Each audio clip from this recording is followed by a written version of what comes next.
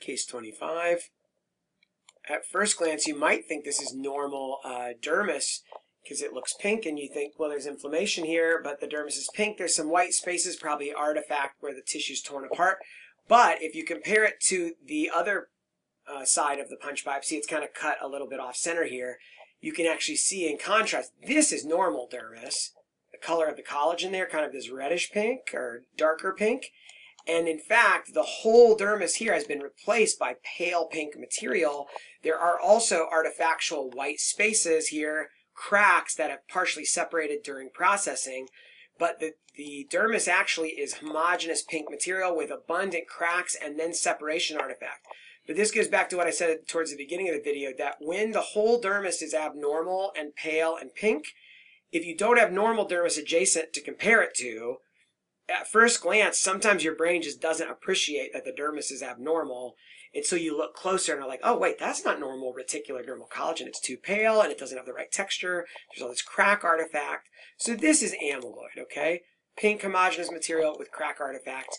If you have a light microscope, you can flip your condenser and see that um, collagen is made of bundles that we can see under light microscopy. They're refractile bundles they're little fibers. You can see the collagen fibers arranged together to make each of these big, chunky reticular dermal collagen bundles. A, a, condenser flipped on and off on a microscope will make it even more refractile and obvious to see that there's collagen uh, fibers there. Whereas amyloid looks homogeneous because the fibers it's made of are extremely small too small to be seen as discrete individual fibers under light microscopy. You have to look on electron microscope to see the individual, you know, I can't remember if it's six or eight nanometer filaments. I can't remember the, uh, that little pearl from boards years ago because I don't use that in my practice. I don't do electron microscopy. So in any case, I find that sometimes helpful to tell sclerotic collagen apart from amyloid on just H&E is flipping my condenser. If it's so homogeneous I can't see any or minimal fibers, that's a good clue it might be amyloid. Of course,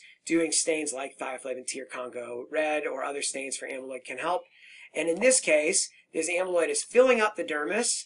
It's also present if we look on the other piece over here around adnexal structures. There's deposits encasing the eccrine uh, glands here.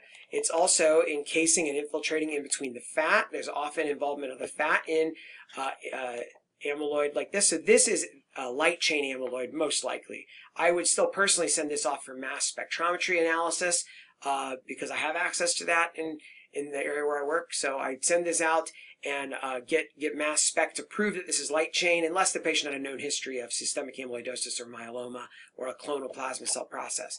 But the reason is because if it is AL amyloid, then the patient needs to be worked up. Definitely needs clinical workup to rule out systemic amyloidosis. Uh, and a clonal plasma cell neoplasm. But one clue here that this might be localized to the skin rather than systemic is that there are scattered plasma cells present in the amyloid. Uh, where was one over here? There's a plasma cell, like you'll have to believe me, one or two plasma cells there. And then over on the other side,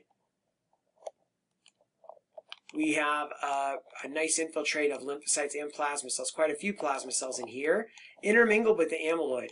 So in this situation, that's a good clue that probably what we're dealing with is what's called nodular amyloidosis. I don't really love the name because systemic amyloidosis, which is made of the same type of amyloid, light chain, AL amyloid, um, also can form nodules and microscopically look identical. So to me, the only way to tell nodular amyloid that's localized to the skin, AL amyloid, light chain amyloid, from systemic amyloid depositing in the skin is to do workup clinically and to make sure that the patient doesn't have a clonal plasma cell neoplasm in their bone marrow and doesn't have cardiac involvement or renal involvement, all that stuff. Okay?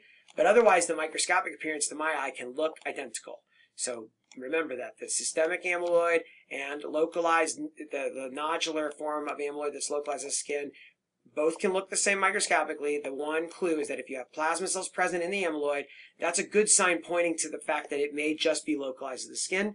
But if you do mass spec, they will be identical. Mass spec cannot tell these apart. They have to have clinical workup. Mass spec will show AL, light chain amyloid, both for nodular amyloid, the localized skin type, and for systemic amyloid, okay? So I've sometimes seen uh, the clinical team ask us to do mass spec to tell them which one it is, and I'm like, it won't tell you that. You have to do the clinical workup instead, okay? So recognizing the homogeneous stuff, the cracks, the encasement of fat, usually uh, deposits in the vessel wall, the wall of larger vessels, deep in the dermis or in the subcutis particularly. That's helpful, but you don't always see that, especially on a skin biopsy, because the, the bigger vessels that tend to get amyloid in their wall are often down deep, like in the subcutis. You can kind of see a little bit here. There's some homogeneous amyloid around the wall of this vessel and this, but it's not a real classic uh, presentation, okay? That's a good example of amyloidosis. In this case, this was nodular amyloidosis, light chain amyloid associated just with the skin without systemic involvement. I still personally think these patients should continue to have some some degree of follow-up because a subset of them, from my reading at least, will uh, potentially progress to systemic amyloidosis eventually, maybe years later. So.